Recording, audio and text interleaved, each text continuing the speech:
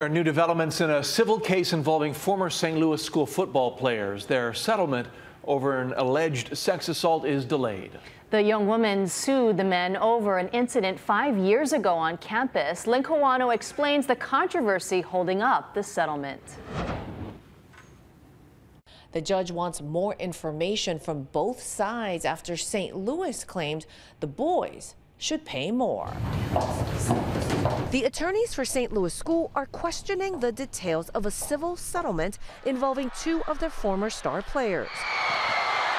Quarterback Jayden de Laura, who now plays at the University of Arizona. Oh, stoned at the two-yard line, and it's Latu again. And Kamoi Latu, a defenseman for the University of Wisconsin. The Hawaii players made a deal with the woman who said they raped her in 2018 when she was underage in the stairwell of the school parking garage after the ILH championship game. The criminal case was handled in juvenile court, but the civil case is still in limbo. At a hearing Tuesday morning, the attorneys for the boys and for the victim told the judge the undisclosed settlement was reached in good faith and should be approved.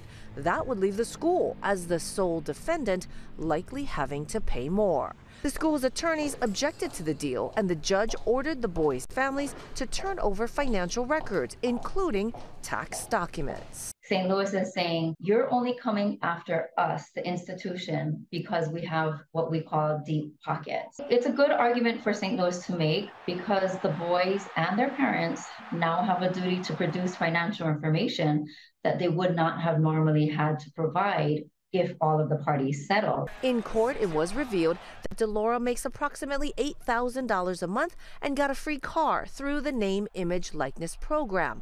Latu made $17,500 last month alone. The judge is giving both sides until August 4th to provide the information. She could make a ruling after that. I'm Lynn Kawano, Hawaii News Now.